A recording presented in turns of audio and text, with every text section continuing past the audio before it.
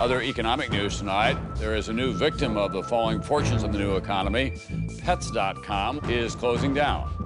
The demise of Pets.com is one of the first needles to punch a hole in the internet bubble. I mean, basically, you you had a new attitude towards business. Um, people were investing in companies that that showed promise, that didn't necessarily show revenues. Internet mania, that short-lived rush by investors to pump money into anything with a dot .com in its name, and by those companies to turn around and pour that cash into advertising. There was this whole new kind of lexicon for talking about these things, not just in the tech world, right? You know, .com became part of the mainstream terminology. Pets.com will sell off the majority of its assets and lay off 255 of its 320 employees. Pets.com was one of the first e-commerce companies. We sold everything for pets from food to toys. Their business plan was to reach as many people as possible, to create volume. But they were losing money on every piece of pet food they sold. Pets.com reported sales of $9.4 million.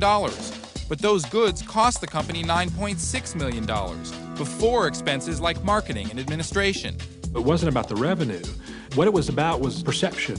And they, perhaps more than any other company, had a hold on perception, exemplified by this sock puppet mascot. Hey there, I'm Chris Hayes from MSNBC. Thanks for watching MSNBC on YouTube. If you want to keep up to date with the videos we're putting out, you can click subscribe just below me or click over on this list to see lots of other great videos.